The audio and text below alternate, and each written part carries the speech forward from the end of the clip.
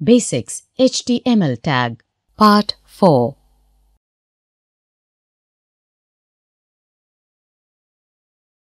Horizontal Rule or HR Tag The HR tag stands for Horizontal Rule.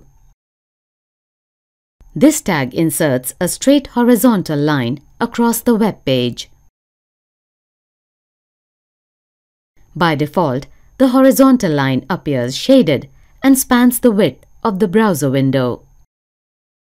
The attributes of HR tag are listed as shown. Attribute size to specify the vertical size or thickness of the horizontal line. The value is given in pixels. HR tag size is equal to 6. Width to specify the length of the horizontal line. The value can be given in pixels or in percentage of the page width. HR tag width is equal to 600 or HR tag width is equal to 75%. Align to specify the placement of the horizontal line on the web page. The values that can be used are left, right, center. HR align is equal to center. No shade. To specify that the horizontal line should appear as a solid stripe across the page rather than a shaded stripe. HR tag No shade. Color to specify the color of the horizontal line. HR color is equal to blue. For example, type the HTML code in the WordPad window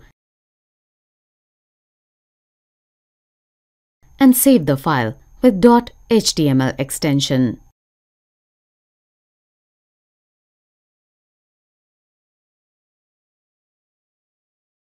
The output of the HTML program is shown here in the browser.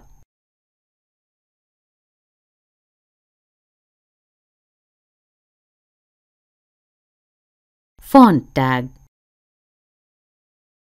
Now, the font tag is used to change the appearance of the text to be displayed on the web page. Using this tag, you can change the size, color and style of the text. It is a container tag. Children, the important attributes of font tag are listed here. Attribute size to specify the size of the text.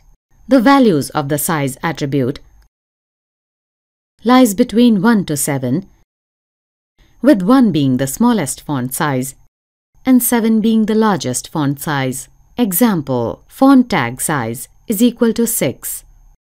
Color to specify the color to be used to display the text. Font tag color is equal to red.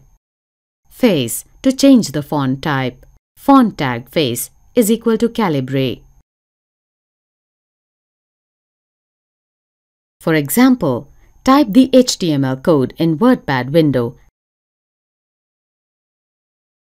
and save the file with the .html extension.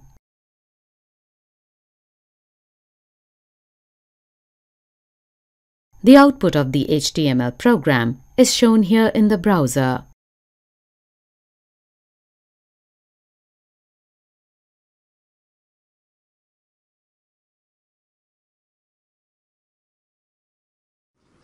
Thank you for watching this video. For more videos, please subscribe our YouTube channel.